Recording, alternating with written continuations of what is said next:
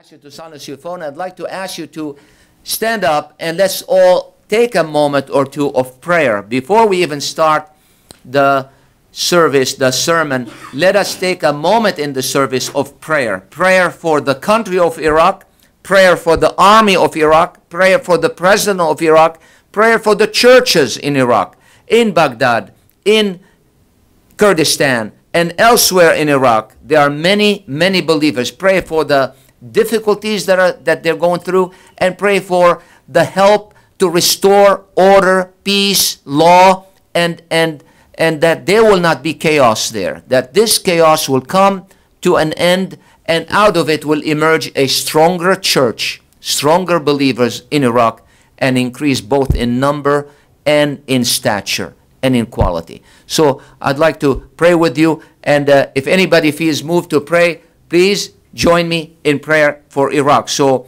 before I even start myself, if anyone here moved to pray for Iraq, go ahead.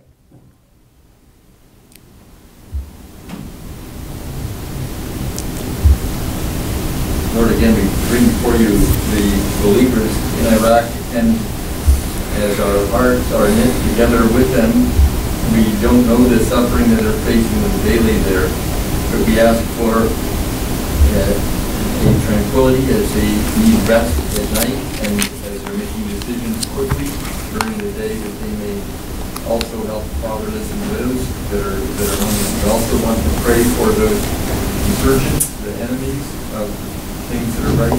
We find that it's right for us to pray for the enemies that are in Iraq. You, we don't know how to treat them in love other than to present the truth to them of the complete salvation in, in uh, the Son of the Most High, Jesus of Nazareth. We ask for help for those that are trying to share that message over there in word and action. Uh, we, we ask for the leadership in anything that they need to be repenting of. And we, we present them before you again, the comfort in the blood. Amen. Heavenly Father, in the name of Jesus, we come to you, Lord, and we ask you, Lord, to uh, to help us see the things that are occurring in the last days, Lord. This did not surprise the Lord, as Iraq is mentioned in the Bible. It describes Babylon, Lord, and Lord, we do pray for the churches, and we do pray for the uh, believers that are there, and we know that all things work together for good.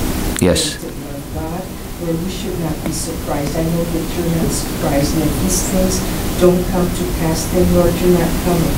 So it should not surprise us, Lord, and we know, Lord, you have a plan, and you know what you're doing. We don't know what we're doing, but Yes. we know that you do. Uh, you know what will happen. You know right before it happens, so it should not surprise us at all. And the Lord says, many are called and few are chosen. Lord, just like the, the gate is narrow, Lord. And so, Lord, we're just going to wait to see uh, on your prophetic calendar what you plan to do. Yes. In Jesus' name, amen. Amen. Father, we thank you for this opportunity to lift up before you our dear believers, the Iraqis. Lord, we pray for them both in Iraq and outside of Iraq. So many believers from Iraq outside of Iraq. We realize that they are heartbroken, that they are praying, and we pray with them. We join with them. The Iraqi believers all over the world. You have made it that the Iraqis were scattered in order to save them. So many got saved from being scattered, and now even more, they're being scattered even more. Lord, we pray that this scattering, as my dear sister said, will be turned for good, for the salvation of many Iraqis. And we pray for the church not only to withstand this onslaught, this chaos, this war that is raging right now, but that the church will emerge as a stronger church, both in the south as well as in the north. Bless the pastors of Iraq. Bless the believers of Iraq. Bless the workers in Iraq. And we pray also for law and order, that the government will be able to get enough help that peace, law, and order will be restored to Iraq. We commit them to you. We thank you for this opportunity. In Jesus' name, Amen. amen. And before you sit down, we're going to read one verse of scripture together from 3 John, verse 4. 3 John, as you know, is one chapter. And it goes, Third John, chapter, uh, 3 John, verse 4. Uh,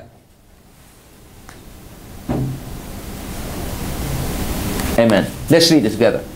I have no greater joy than these things to hear that my children walk in the truth. Please sit down. Today is a great day for fathers, but it's a great day for everybody because we're all connected to fatherhood one way or another. Whether you are a father or a mother or a son or a daughter, whether you are planning to become a father, hoping to become a father, to all of us, the same goes. Happy Father's Day. Happy Father's Day. It's a great day, Father's Day. Somehow it took a long time for it to become official in this country. It didn't become official till the year 1972. Whereas 58 years before it, Mother's Day was made official. I don't know why, but our society delays fathers. Somehow our society is not giving fatherhood and fathers the place they really deserve. God likes fathers. God himself is a father, and God wants fatherhood to be recognized. There is a sociologist by the name of David Blankenhorn who made a study in prisoners, male prisoners in particular, and he noticed that they have one thing in common, most of them, they did not have fathers while they were, while they were growing up. Isn't that amazing? That we realize the importance of fatherhood. Fatherhood is very important for the kids and specifically the right kind of fatherhood, the best fatherhood, the godly fatherhood. We need fathers and we need more than fathers. We need godly fathers. Because godly fathers is what knows who knows how to give the best gifts to their children. What do they give them? They give them Jesus Christ. And what better gift is there to be given to children than Jesus Christ? Godly fathers are people who can pass the legacy of Christ to their children. And we need, we need to pray for godly fathers. We need to pray for more godly fathers. And if there is anything in society that will change society, it is both godly mothers and godly fathers that will change this society. So we should all aspire to be like godly parents, godly fathers, and godly parents. And John here speaks to these people not as a physical father, he speaks to them as their spiritual father.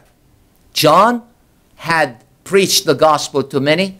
In his ministry, he has had many converts, people who were born again as a result of his ministry. So he speaks to them as he is their father. And he says, My children, I have no greater joy than this to see you, my children, walk in truth. No greater joy. And I'd like to speak to you today about what is the best fatherhood. But more than that, what is the greatest joy of the best fatherhood? What brings joy to the best of fathers? And it is that. It says, There is no greater joy to me. These words can be the expression of fathers. There is no greater joy to me than to see my children walk in truth. So I'd like to before you bring before you five points about this best fatherhood. I call it fathers at their best. Fathers at their best. I'd like to talk, you about, talk to you about the greatest joy that is brought to those best fathers. First of all, I'd like to tell you that this best, this great joy that is brought to those best fathers is only, comes only to fathers who are Christians. That's right.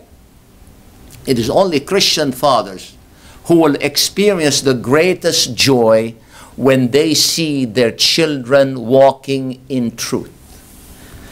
Nobody else can experience as much joy as a Christian father who, or mother to that effect, who are seeing their children walk in truth because they want to see their children become like who? Like them. No wolf is happy if his offspring becomes a sheep. No ungodly man cares whether his children will become Christians or not because he's not a Christian himself. If a man is ungodly, what does he care? But if a man is godly, he cares. He becomes wanting to see his children come to the truth. I hear of Abraham praying for Ishmael because Abraham wanted Ishmael to be godly like him because Abraham was godly. But I don't hear of Ishmael praying for his son Nebaioth. He didn't care. Ishmael did not turn out to be godly, so he didn't care. Therefore, we never hear about Ishmael praying for Nebaioth, his son. and I fear that there are some fathers, many as a matter of fact, who don't care. They don't care whether their children are becoming godly or not. They don't care whether they're following Christ or not. They just say, let them be happy and let them be wealthy put the girl's feet in silver slippers, and many fathers say that's enough as long as she's happy, healthy, and wealthy. It doesn't matter what she does. It doesn't matter whether she walks in the broad road or in the narrow road. Who cares? My daughter goes to such and such university. My daughter has such and such position. My daughter runs, drives such and such car. And that's all what it is to them. Unfortunately, those fathers really don't understand that those kids of theirs have been entrusted to them in order to be guided to the knowledge of the Lord, of the Savior, the Lord Jesus Christ. I say to fathers who are like this, who don't care, wake up. If you cannot say that verse truly and mean it, that your joy is not in seeing your children walking in truth, it is because you yourself are not walking in the truth. When fathers are not walking in the truth, what do they care? As long as my child can pay his bills, her bills, and go to school and have a car and have health insurance, who cares about the rest? But to those fathers, I say, wake up. Because if you are not yourself saved, that is the reason why you are not desiring for your children to be like this. Godly fathers, the best fathers always desire, they derive their greatest joy when they see their children walking in truth and knowing the truth and espousing the truth. Yesterday we were witnessing at Seal Beach and uh, interestingly enough, you know, you learn so much from those outings. Am I right? Those who were yesterday. I mean, it's, it's, a, it's a university by itself. Go out there and just interact with these people and get almost every every kind of response, every kind of excuse. Those who are refusing the gospel, oh, you should hear the excuses. One guy told me this. He said, you know, I think I'm a Christian. After all, I was baptized as a child. I said, when did you become Christian? I said, when I was born. And I said, no, you see, being baptized doesn't make you a Christian. He said, really? And then you start the argumentation and said, I said, you have to be changed. Christianity is not something you're born with. It is an event, a change that happens to you when you come to realize that you are a sinner, that you need to repent of your sins, that you're heading to hell. That's right. No conversion happen unless one realizes that he's on his way to hell. And that's when you start seeking conversion. And I pray that today that if there's anyone here who's still not certain about his or her salvation, that you realize that hell is for nice people who have not sinned much. In fact, all it takes is one sin. If anyone who keeps the entire law but offends in one, he is guilty of all. James 2.10. All it takes is one little sin. And who has not sinned? You need to come and hurry and be saved. That's right. Let the blood of Jesus Christ cover all your sins by faith. That's right, by faith. Throw yourself at the mercy of God and tell Him, Lord, have mercy on me, a sinner, and be saved. And I want to tell you, when that happens to you, you can truly say, then, I have no greater joy than to see all people around me, my children, my relatives, my friends, everyone that I come across, I want to see them come to Christ. Walk in truth, just the same way I'm walking in the truth. That great joy that comes to the best fathers is can only come to Christian fathers. Second item about that great joy, that great joy that comes to the best father fathers is only fulfilled when its objective is visibly seen. What does it say here? Could you read it with me? I have no greater joy than these things than to what? To hear that my children, what? What's that word? walk. I want to see them walk in truth. A godly father does not say, I have a great joy that my children know the gospel. That's good, but that's not enough. Or they're attending church. That's not enough. Or they are really opening their Bible once in a while. That's not enough. A godly Christian father is not happy unless he sees with his own eyes his children walking in the truth, living the truth, living Christianity visibly. He wants to see them practically Christians, behaving like Christians, speaking like Christians, ministering like Christians. That's when his heart is at peace. That's when his heart is joyful. He does not say, I think they're Christians. I don't know. They told me they're Christian. No, no, I want to see it. I have no greater joy unless I see it with my own eyes, that I hear it, that I visibly see that they are really Christians. And I want to tell you, I want to tell you, we fathers, we fathers who have been entrusted with our children, have no greater joy than to see our children truly living Christianity. I tell my children, if you want to give me the greatest gift, I pray that you be living Christianity before me.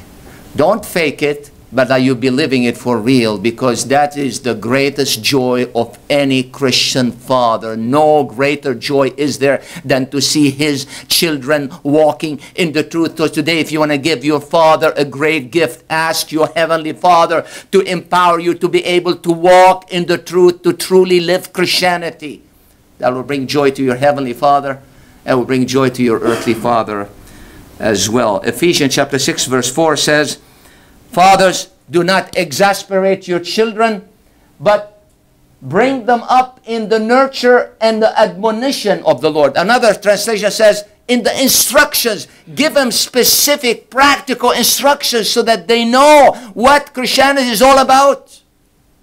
And that you'll be their coach in what Christianity is all about. First Thessalonians chapter 2 verse 13 says, as a father deals with his own children, encouraging, comforting.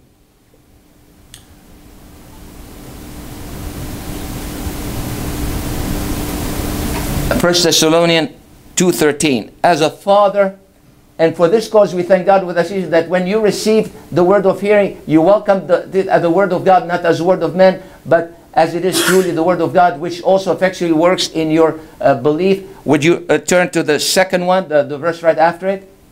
For you, brothers, became imitators of the church of God which are in Judea and Christ. For you also have suffered these things by your own countrymen, even as they also by the Jews. He's thanking the Lord that these people, despite the suffering, despite their all that they went through, were able to persevere and persist in their walk as Christians. They were practical Christians. Practical Christianity is real Christianity. When sons are walking in integrity, in prudence, in godliness, in grace, walking in the truth should be visible, and there's no joy until fathers in Christ see their children walking in the truth. When the daughters are walking in purity, in chastity, moderation in their clothing and their, their apparel, and having that meek and quiet spirit that is very precious in the eyes of the Lord, this is what brings joy to a godly father. This joy is only for Christian fathers.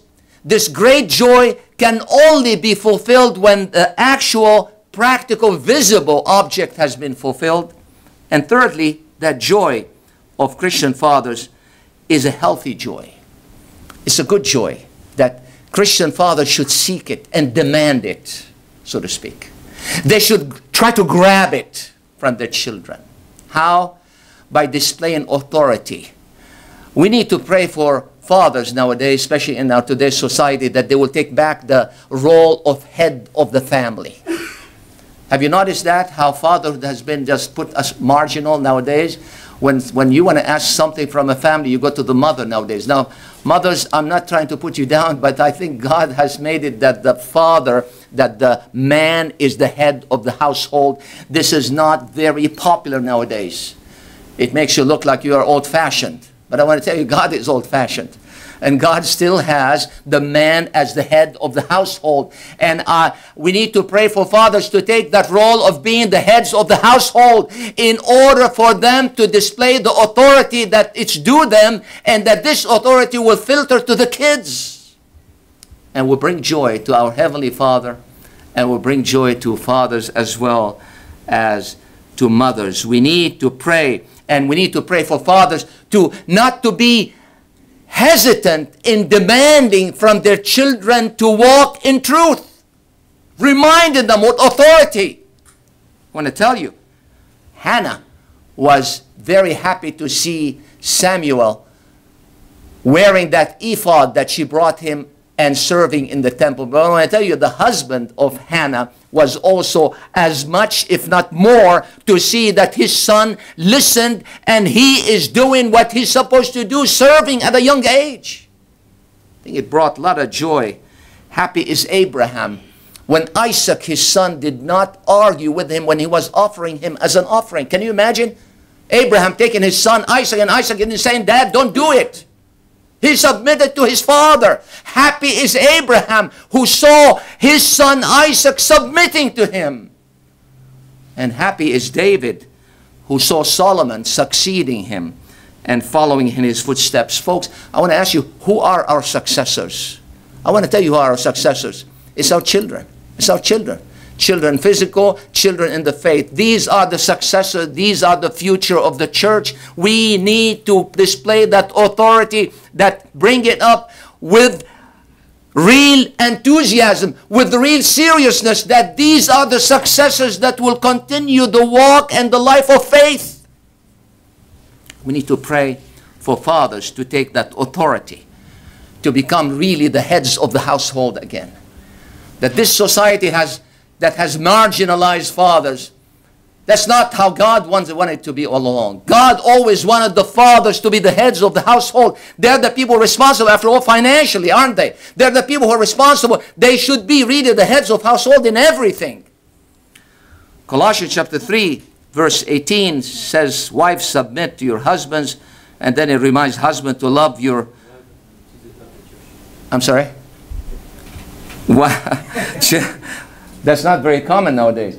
Be subject to your husband as is becoming in the Lord. Verse 19, it says, Husbands, love your wives and do not be bitter against them. And verse 20, it says, Children, obey your parents in all things, for this is well pleasing to the Lord.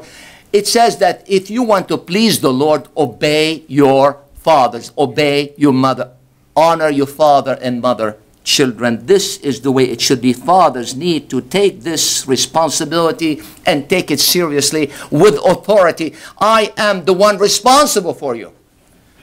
And uh, they need to display that authority and they need to play some this discipline.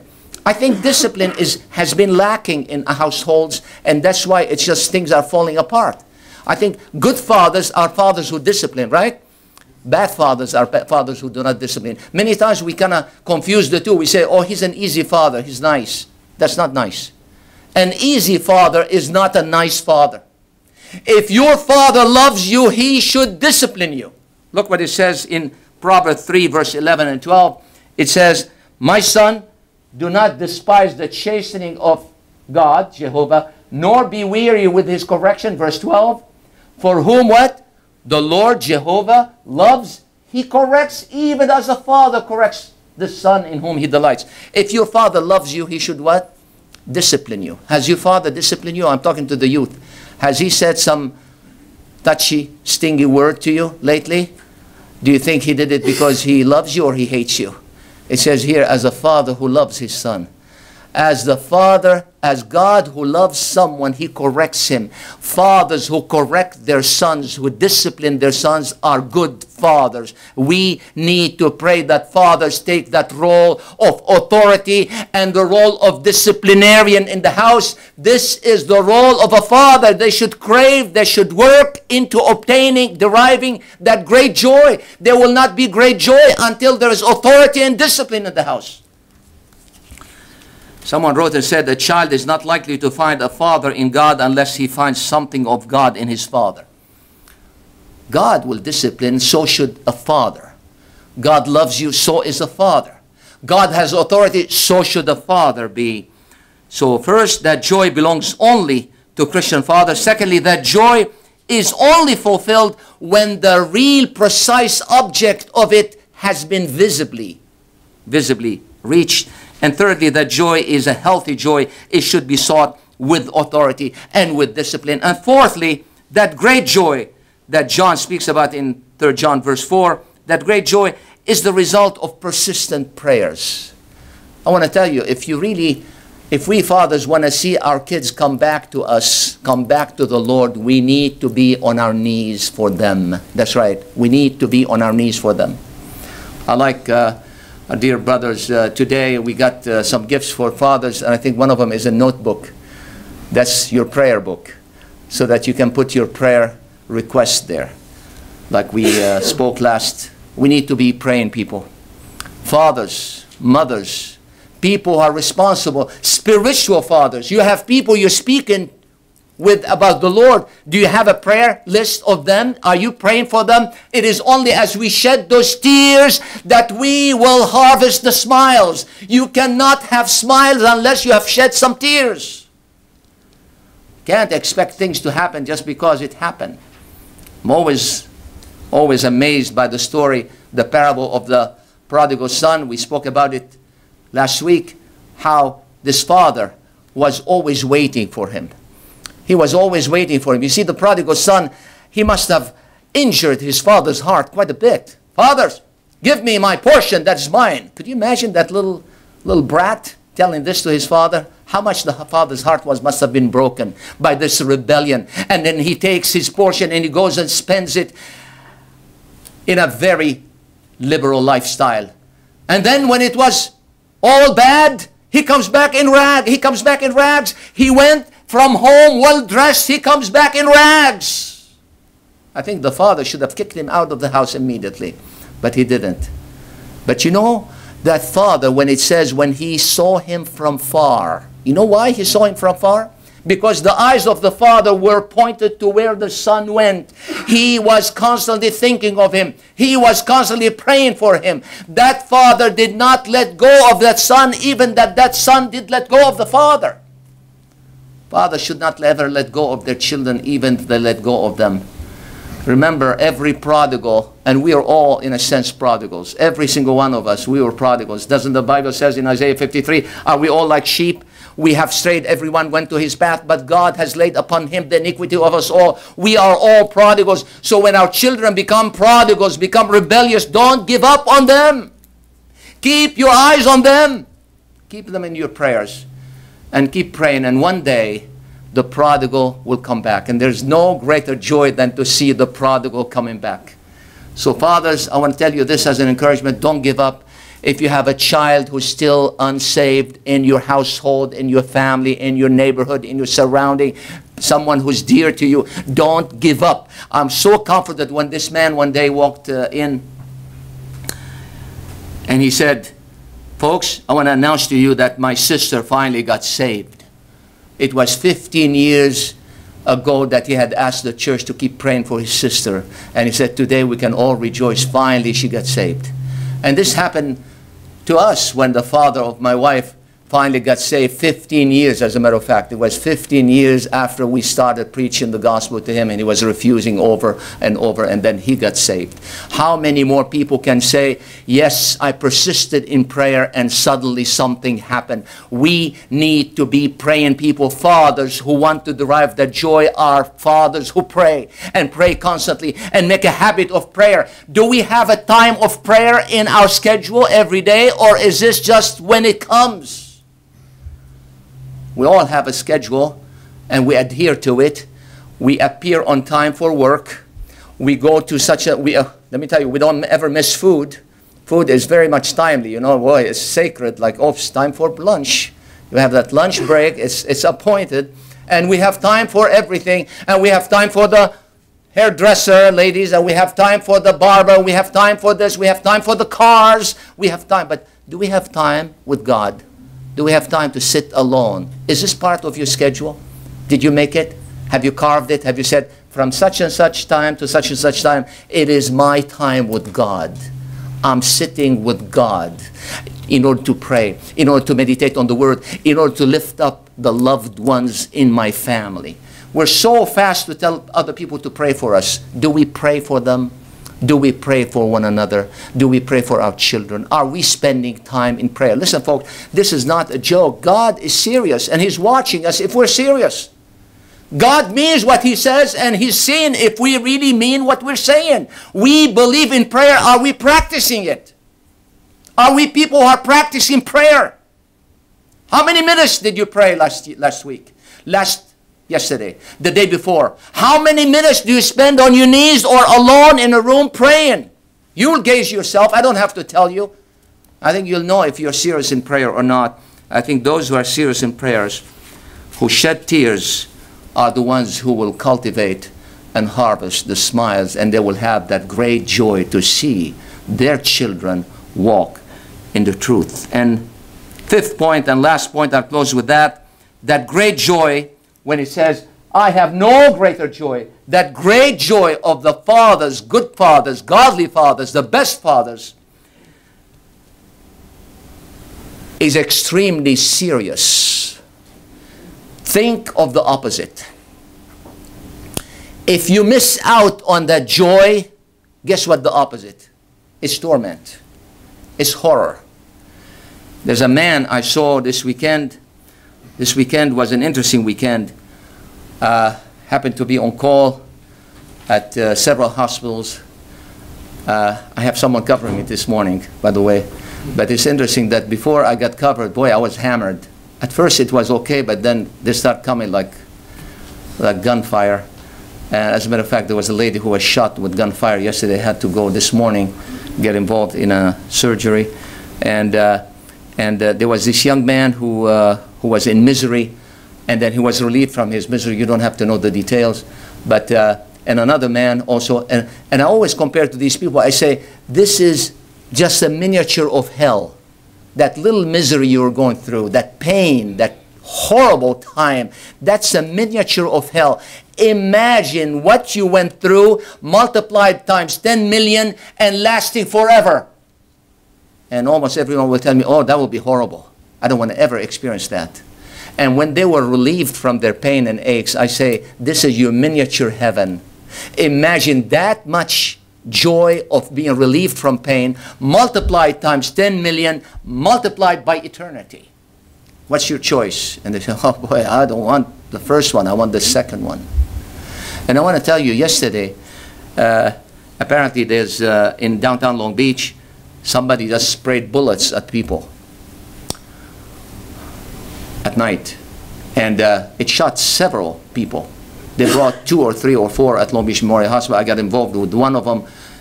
The bullets went into the bladder, bleeding, etc. A lady, young la uh, lady, etc. And I was there this morning, and uh, uh, thank God everything went well. And she's blessed that the bullets just missed the major arteries, etc. She survived. She's fine. Everything can be sealed, holes, etc.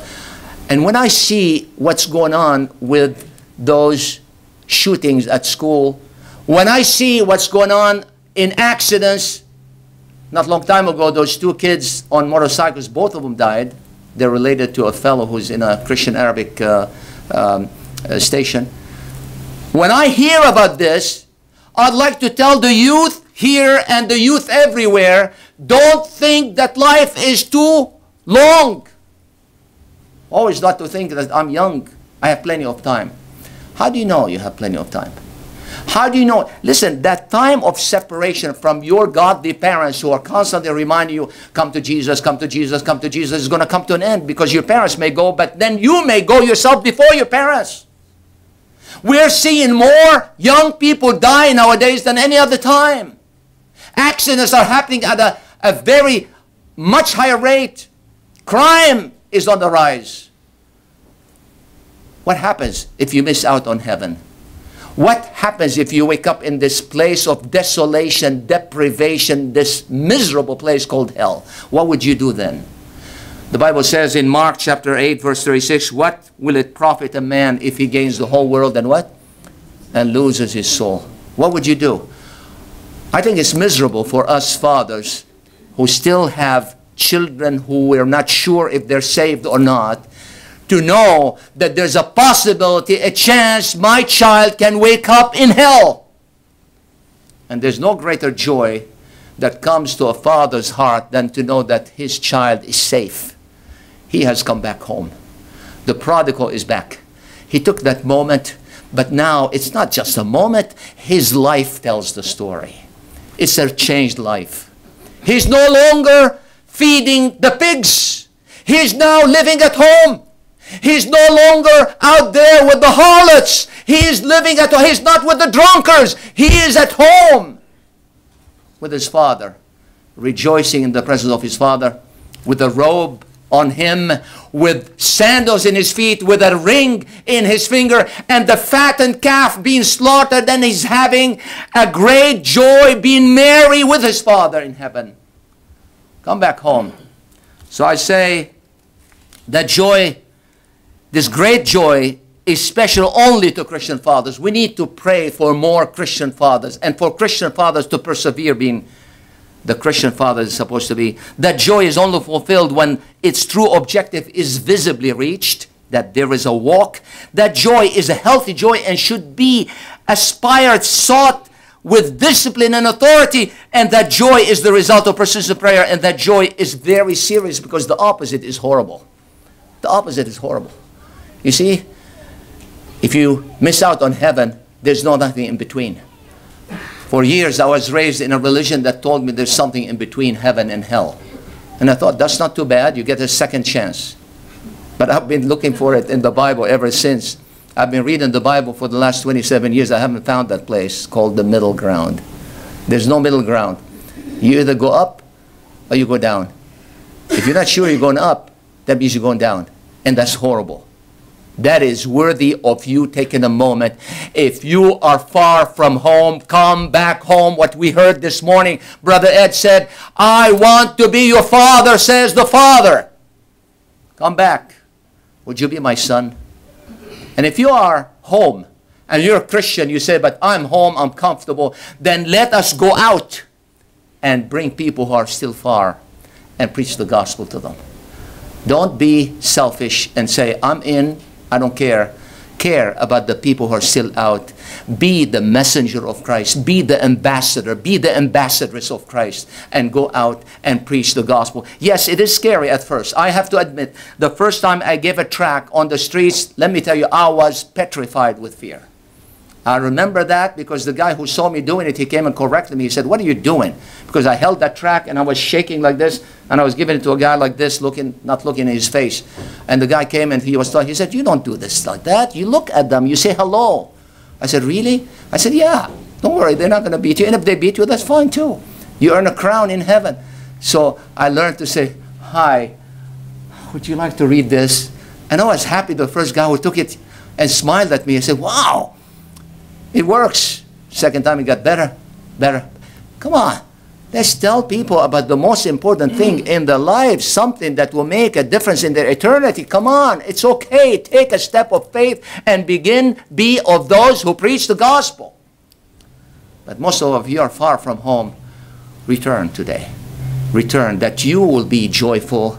You will make your father joyful You will make your earthly mother joyful, and you'll make your fatherly, your divinely father, very, very happy today. Let's bow our heads before the Lord. There's no greater joy.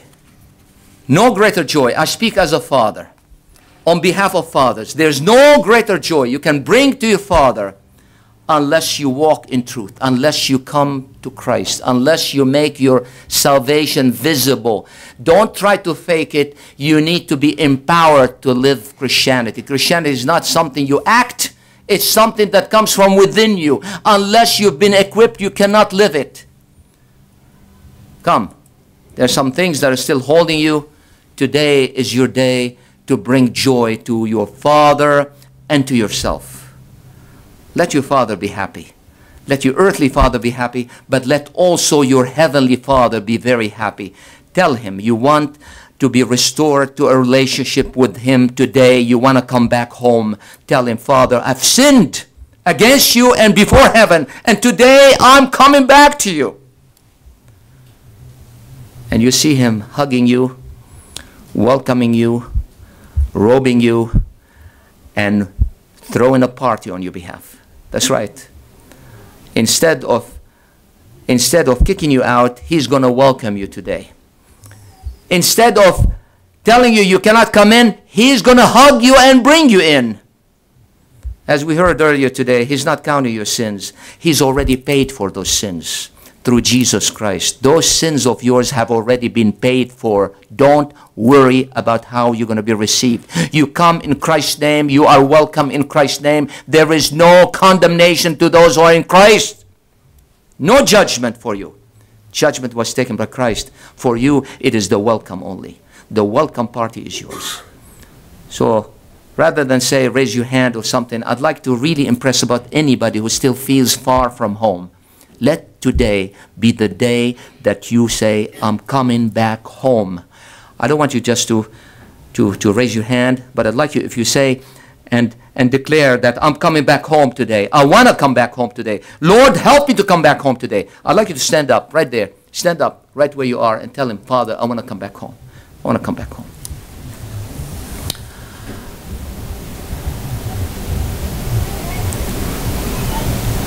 Let's pray. Father, we thank you that you are the Father who's always welcoming those who come back to you humbly, repentantly, and publicly.